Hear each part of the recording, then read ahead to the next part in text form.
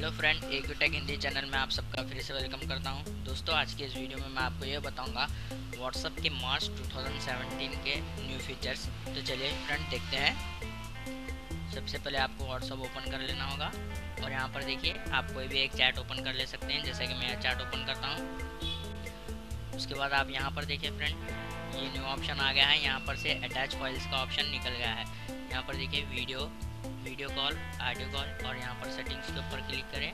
ये देखिए, ये फीचर्स है यहाँ पे। उसके बाद यहाँ पर देखिए टाइप मैसेज के ऊपर क्लिक करके यहाँ पर देखिए अटैच फ़ाइल का ऑप्शन यहाँ पर आ गया है। इसके ऊपर क्लिक करके कोई भी फ़ाइल अटैच कर सकते हैं आप। यहाँ से बाजू कैमरा है।